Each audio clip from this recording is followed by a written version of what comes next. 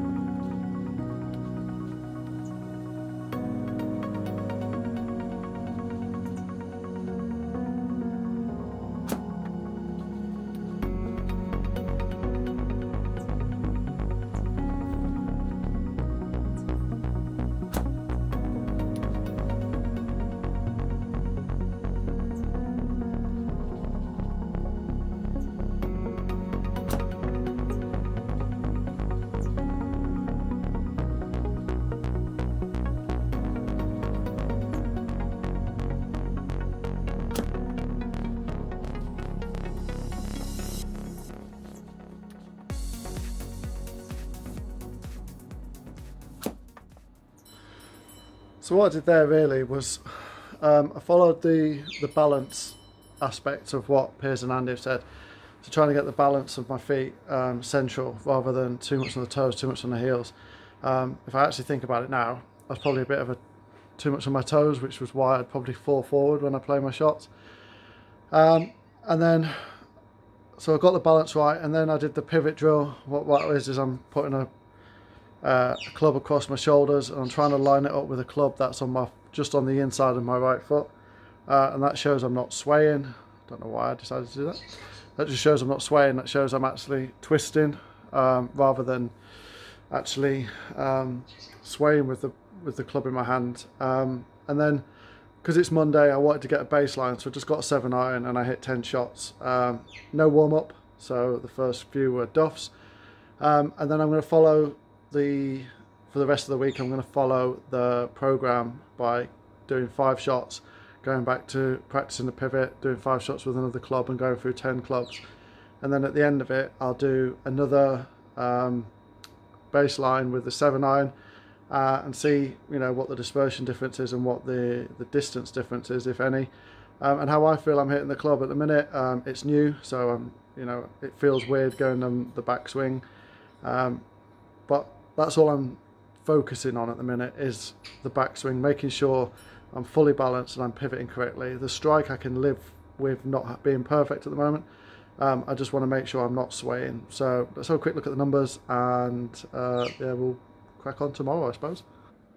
So first things first, the dispersion, um, all over the place really, if I'm being perfectly honest. Um, there's some nice straight shots, there's some push shots, there's a few hook shots and a few nice draws that, you know, uh, I, I like the, the shape of, but in reality, uh, a little bit all over the place. Uh, as for numbers themselves, focus on it. Uh, average ball speed 91, uh, but you know, there's a 67 in there over the top left. There's a Duff. Um, launch angle 22, but again, that's down to that 10.8 Duff. So you know, not brilliant. But the average distance um, is total 132, which for a five iron, uh, seven iron is really really bad. But you know, you take out the 65, you take out the 104 um, let's take them out. And 65. Oh. Sorry guys, I had a bit of a focus issue there. Um, so take those two shots out and the total distance average is 145, which, you know, I want to be hitting 150, 155, so it's a little bit down. There is a 155 in there so I know I can hit that shot um, but it just gives me something to work with um, so I'll work with that average I'll take out the two duffs because um, they were complete duffs um, and then we'll see how we get on in a week's time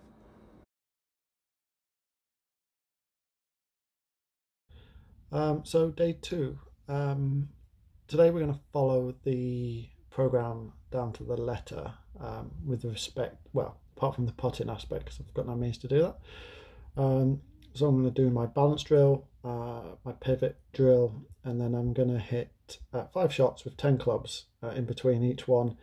I'm going to do the pivot drill again to ensure I'm aligned up properly. Um, and we'll see what today brings. Yesterday was really poor with distance. I don't expect today will be much better, if I'm honest. Um, but I'm not really worried about that. I just want to get that transition into the backswing correct. Um, and we'll worry about the downswing at a later date. So uh, off to work again, uh, into the sim, and let's see what happens.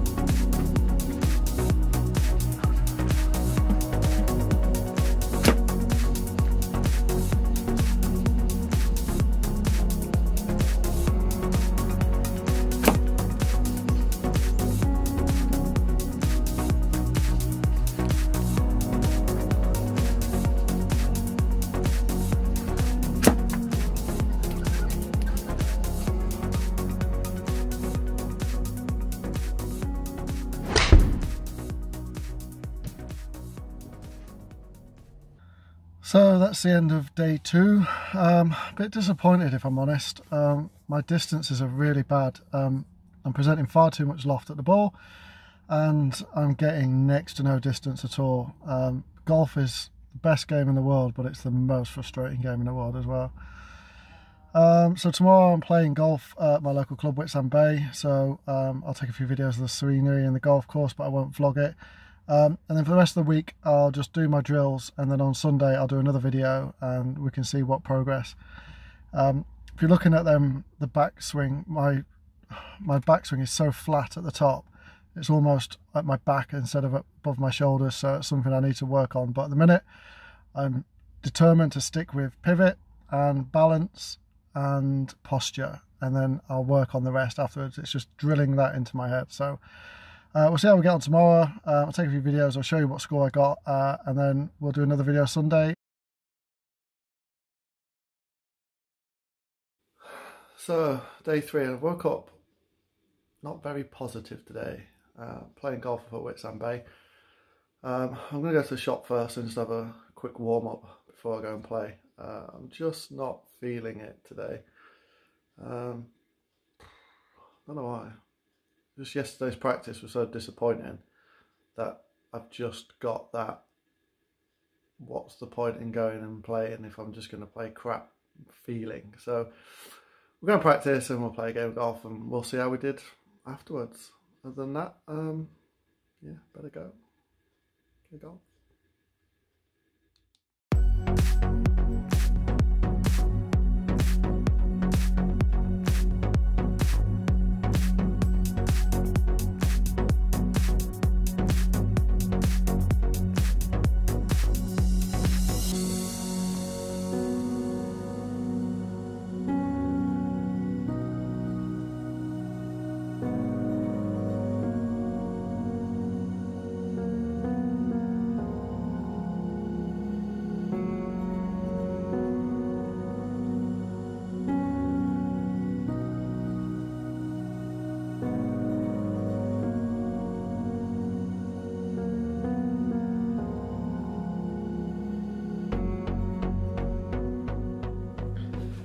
So that was a few pictures of Whitsand Bay. Um, it's a gorgeous course at the minute with the sun out.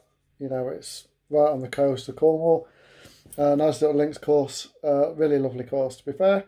Um, disappointingly, I scored 28 points. Um, pretty much down to getting off the tee today.